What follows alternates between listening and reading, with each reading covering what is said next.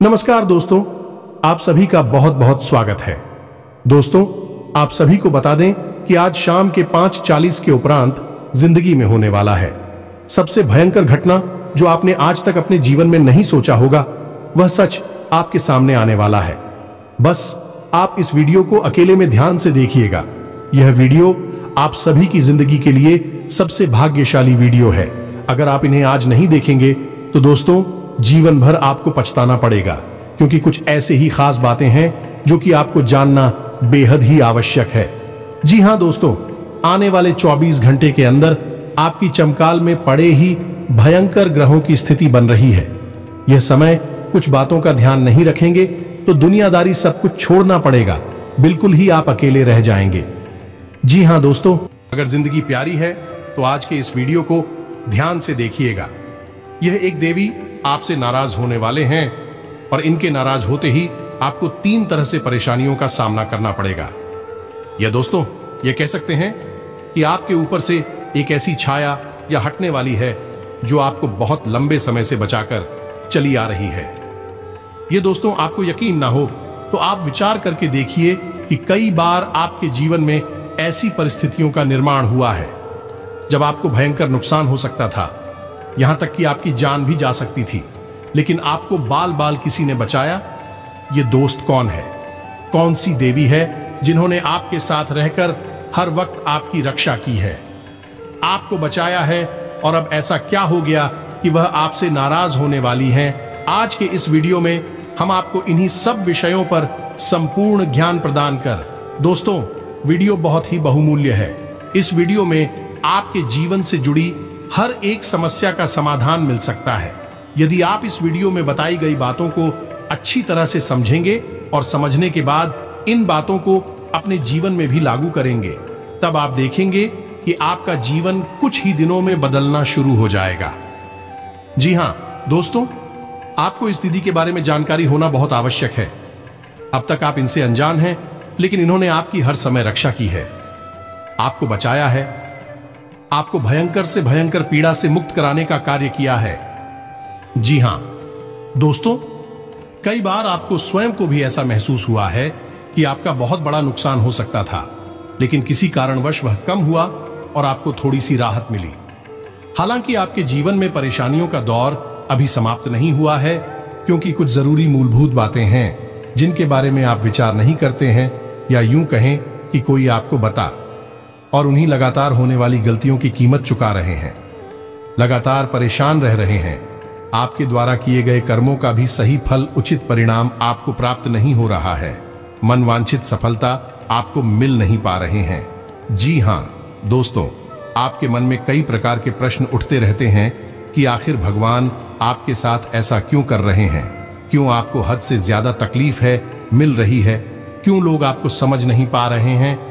जिनके साथ आप अच्छा करते हैं, उनके साथ भी आपकी बुराइयाँ क्यों हो जाती हैं? आखिर आपने ऐसा क्या कर दिया, या आपके साथ क्या है? ऐसा गलत है कि आपके कष्ट, आपकी परेशानियाँ, या यूँ कहें कि आपके दुखों के दिन समाप्त ही नहीं हो रहे हैं। तो दोस्तों, हम एक एक करके आपके जीवन की हर एक बात को विस्तार से समझाने का प्रयास करेंगे। आप ध्यान से वीडियो को देखें। समझे कि आपके जीवन में क्या गलत है। क्योंकि दोस्तों, प्रयास तो आपको ही करने होंगे और प्रयास करने के लिए आप कुछ सही ज्ञान होना बहुत आवश्यक है। बहुत कम ही लोग ऐसे हैं। इस संसार में जो किसी को सही ज्ञान देते हैं, लोग अपने मन के मुताबिक जानकारी को तोड़ मरोड़ कर दूसरों को देते हैं और बदले में उनसे पैसे आते हैं। जब आपको सही ज्ञान कहीं से प्राप्त हो तो उसे अवश्य ले लेना चाहिए, क्योंकि जीवन में मुक्ति का मार्ग ज्ञान की राह पर चलकर ही प्राप्त होता है। दोस्तों दोस्तों, हम आपको गारंटी देते हैं कि आपको इस तरह का ज्ञान जो आगे हम आपको वीडियो में देने जा रहे हैं, पूरे YouTube पर कहीं पर भी देखने को नहीं मिलेगा। ऐसा इसलिए हम कह रहे हैं क्योंकि लोग इस तरह की बातों को बताने के लिए बदले में पैसे की मांग करते हैं। ये दोस्तों, लोगों ने इस तरह के व्यापार चला रखे हैं कि लोग दूसरों को राहत पहुंचाते हैं, लेकिन बदले में उनसे मोटी मोटी रकम की मांग लेते हैं या ले लेते हैं और लोग उन्हें देते भी हैं। बदले में उन्हें समाधान तो प्राप्त होते ही हैं, लेकिन हम आपको इतनी महत्वपूर्ण जानकारियाँ मुफ़्त में देने का कार्य। रहे हैं दोस्तों, हमें आपसे किसी भी प्रकार का लालच नहीं है। हमें बस इतना चाहिए कि माँ भद्रकाली हमारी भक्ति से प्रसन्न रहे और दूसरों के हित में हमारे द्वारा किए गए प्रयास सफल रहे। बस यही हमारे जीवन का और हमारी मेहनत का उद्देश्य है कि यदि आपके जीवन में एक परसेंट भी बदलाव आता है, आपको लाभ प्राप्त होता है तो हम समझेंगे कि हमारी माँ भद्रकाली के लिए भर्ती सफल रही।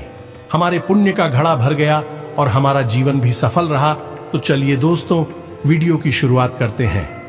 लेकिन वीडियो शुरुआत करने से पहले आपसे एक निवेदन है कि कमेंट में पूरे भक्ति भाव के साथ जय माँ भद्रकाली लिखना ना भूलें।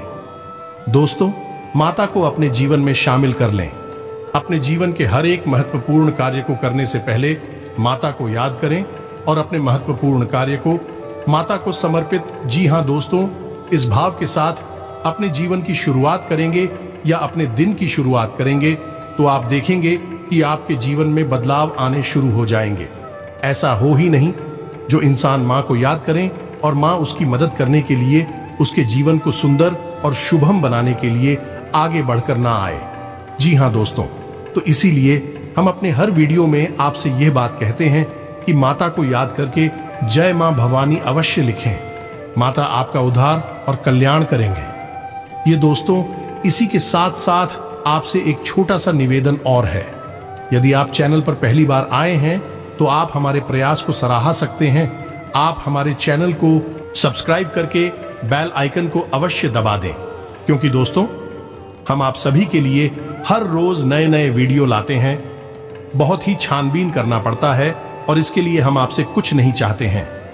बस आप हमारे चैनल से जुड़ जाए। इससे हमारा चैनल परिवार बड़ा होता है और हमारा मनोबल भी पड़ता है।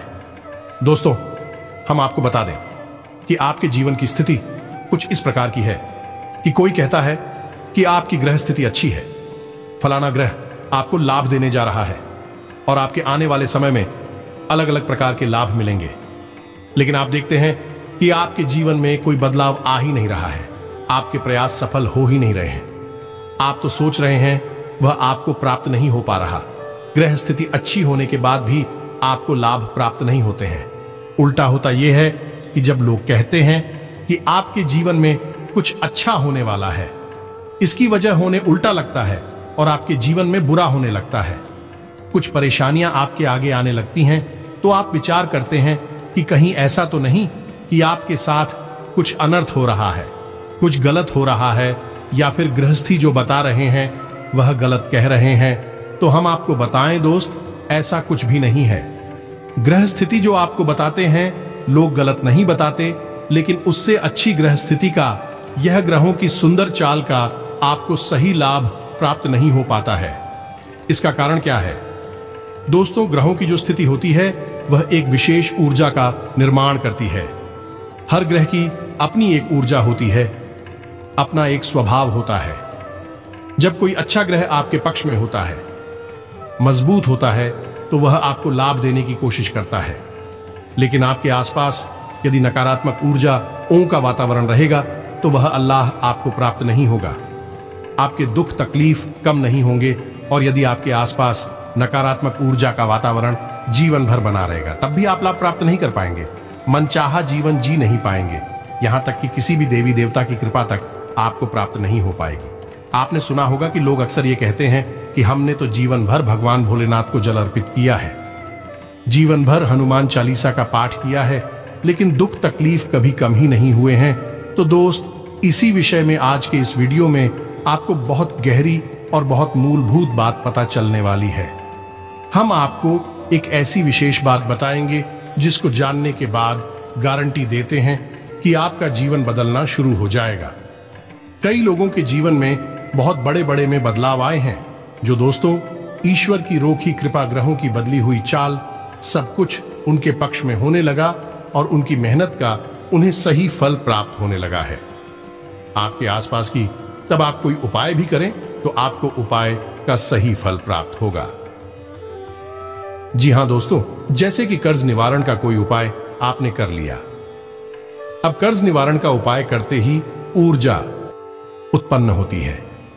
जैसे आपने भगवान भोलेनाथ का, बड़केश्वर महादेव का कर्ज निवारण उपाय किया तो उसे मटकेश्वर महादेव की सकारात्मक ऊर्जा आपके पास आएगी। आपके जीवन को बदलने की कोशिश करेगी। वह शुद्ध सकारात्मक ऊर्जा है, लेकिन आपके आसपास नकारात्मक ऊर्जा का वातावरण है। तो वही ऊर्जा भी आपको संपूर्ण लाभ प्रदान नहीं कर पाएगी। अब आप ऐसे में सोचेंगे कि उपाय बेकार है, उपाय का कोई लाभ नहीं है। जीवन में कोई बदलाव तो आया नहीं। इसका मतलब है जिसने उपाय बताया, उसने झूठ बोला या फिर जो उपाय है, वही बेकार है। लेकिन दोस्तों, ना तो उपाय बताने वाला झूठ बोल रहा है और ना ही उपाय खराब है। दोनों ही अच्छे हैं, क्योंकि इन उपायों से दूसरों को लाभ हुए हैं तो आपको क्यों नहीं हो रहे? तो फिर सोचने वाली बात यह है कि कमी कहाँ है? अब कमी यह है कि आपको अपने आसपास के ऊर्जा के नकारात्मक वातावरण को बदलना है और यह कार्य किसका है? कैसे बदलेंगे? आप बाहरी पूजा पाठ करेंगे, किसी भी देवी देवता की, या कोई अन्य प्रकार के कर्मकांड करेंगे तो आपके जीवन में बदलाव नहीं आएँगे।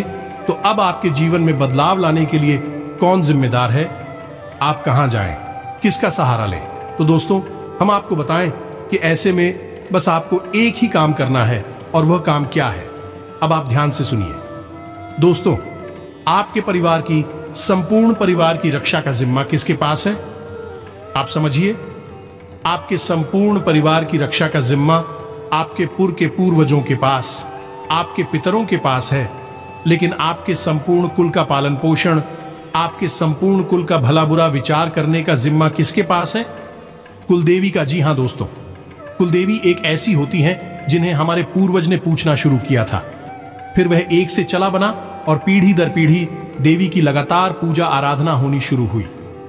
यह है कि देवी कुलदेवी का काम करती हैं। यानी कि आपके संपूर्ण कुल की रक्षा करना, आपके कुल का पोषण करना इन देवी का कार्य हो जाता है तो जब तक यह सिलसिला लगातार चलता रहता है, सब कुछ ठीक बना रहता है। लेकिन कई पीढ़ियाँ गुजर जाने के बाद लोग धीरे धीरे बोलना शुरू कर देते हैं और एक समय ऐसा आता है, जब लोग यह भी भूल जाते हैं कि उनकी कोई कुलदेवी है भी या नहीं है तो फिर होता यह है कि आप बेशक भूल जाएँ। लेकिन कुछ पीढ़ियों तक, कुछ समय तक माता की छाया आपके ऊपर बनी रहती है और आपके कुल की रक्षा होती रहती है। लेकिन जब लंबे समय तक माता का निरादर होता है पूजा पाठ नहीं होती है तो माता आपसे रुष्ट होने लगती हैं। और धीरे धीरे आप जब जीवन में आगे बढ़ते हैं तो एक समय वह आता है कि जब माता की छत्र छाया आपके कुल से हट जाती है, ऐसे में होता है। यह है कि नकारात्मक शक्तियाँ फिर आपको घेरना शुरू कर देती है। हमने आपको अपने पिछले एक वीडियो में भी बताया था कि आप अपने जीवन में चाहे कोई कार्य करें या ना करें, किसी भी देवता की पूजा करें, इससे कोई फ़र्क नहीं पड़ता।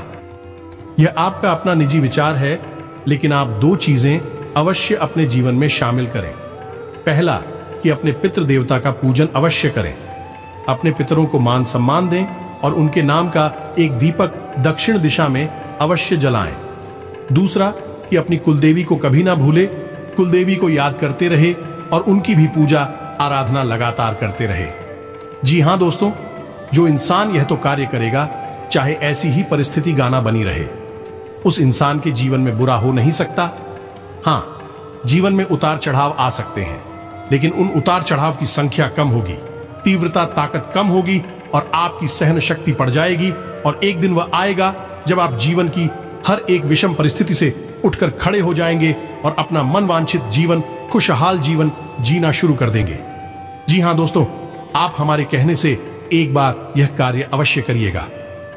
दोस्तों, आपको यह नहीं पता कि आपको अपनी पिक्चर पूर्वजों का पूजन कैसे करना है तो आपको दो कार्य करने हैं। बहुत ही सरल है। आप बस इन्हें अपनी आदत में शामिल कर लीजिए। घर की महिलाओं से कहिए कि जब रोटी बनाएँ तो पहली रोटी गाय की और आखिरी रोटी कुत्ते की अवश्य बनाएँ।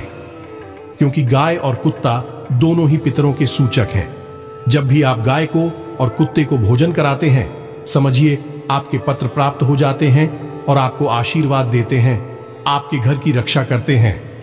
जी हाँ, दोस्तों, जिस इंसान के पुत्र प्राप्त होते हैं, खुश होते हैं, आशीर्वाद दे रहे होते हैं, उस इंसान के जीवन में विपत्तियाँ किसी कीमत में आ नहीं सकती और वह जो भी पूजा पाठ करेगा, उसका उसे पूरा फल प्राप्त होगा, क्योंकि पितरों का काम भी है।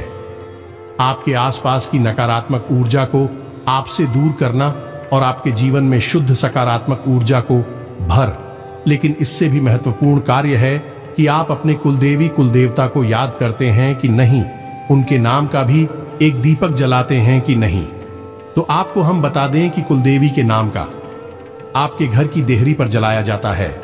जी हाँ, दोस्तों, आपके घर की दहलीज होती है। वहाँ पर आपकी कुलदेवी या देवता का वास माना जाता है। अब आप समझिए कि माता का कितना अधिक प्रभाव है। जब भी कोई नकारात्मक ऊर्जा आपके घर में प्रवेश करने की कोशिश करेंगी। माता दहलीज पर खड़ी मिलेंगे और आपकी रक्षा करेंगे। आपके कुल की रक्षा करेंगे और नकारात्मक ऊर्जा को वहीं से दूर हटा देंगे। चित्र भीतर कर देंगे तो आपको करना यह है कि अपनी कुल देवी या देवता के नाम का एक दीपक। शाम के समय जी हाँ दोस्तों, संध्या काल में अपनी दहलीज पर अवश्य लाना है। जी हाँ दोस्तों, अब ऐसे में कुछ लोग ये कहेंगे कि उन्हें नहीं पता कि उनकी कुलदेवी कौन सी है या कुल देवता कौन से हैं। ऐसे में आप अपनी कुलदेवी और कुलदेवता का पता लगा सकते हैं। इसके लिए बहुत सुंदर सा अच्छा सा प्रयोग है।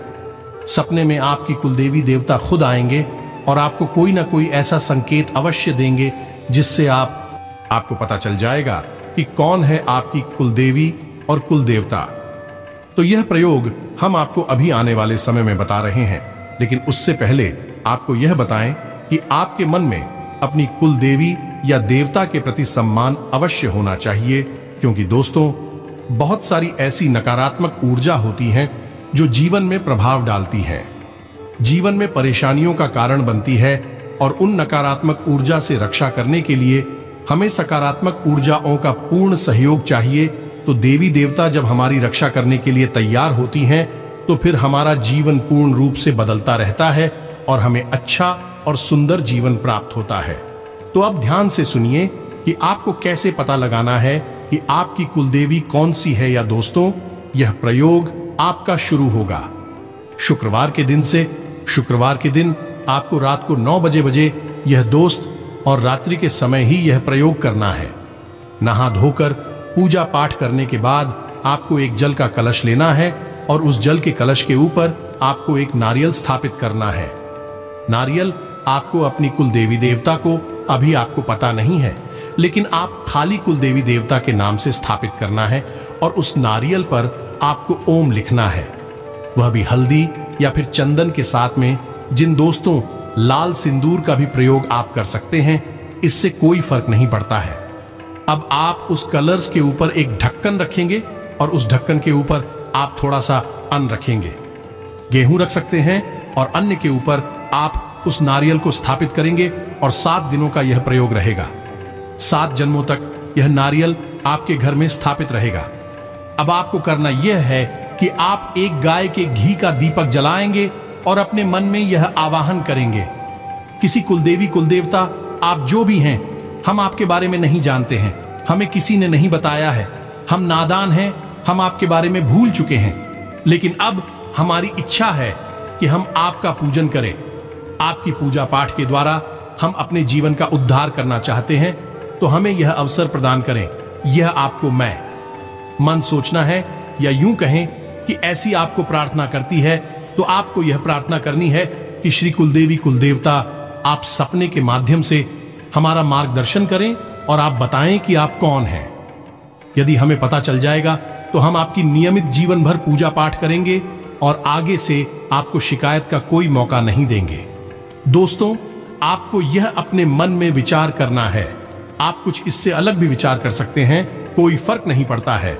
बस आपको अपनी कुलदेवी अधिवक्ता के बारे में यह आवाहन करना है कि आप आइए और हमें सपने के माध्यम से कोई संकेत दीजिए कि आप कौन हैं, हम आपकी पूजा, आराधना करना चाहते हैं। जी हाँ दोस्तों, आप सात दिन तक किया करिए, यानी कि शुक्रवार से आप इस प्रयोग को गाना शुरू करिए और नियमित करना है।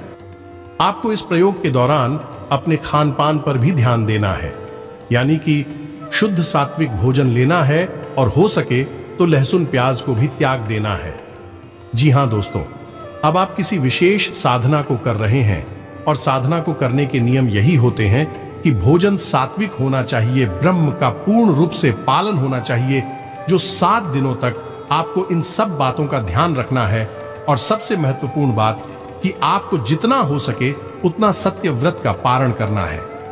झूठ नहीं बोलना है। चाहे आपका काम बनिया बिगड़ी, आपको झूठ का साथ नहीं देना है। बस आप ऐसा करिए, सात दिन के अंदर अंदर कुल देवी या देवता जो भी हैं, आपके आपको सपने के माध्यम से संकेत देंगे और आपके होने का एहसास कराएँगे और आपके कुल पर, आपके परिवार पर उनकी छत्र छाया फिर से स्थापित हो जाएगी।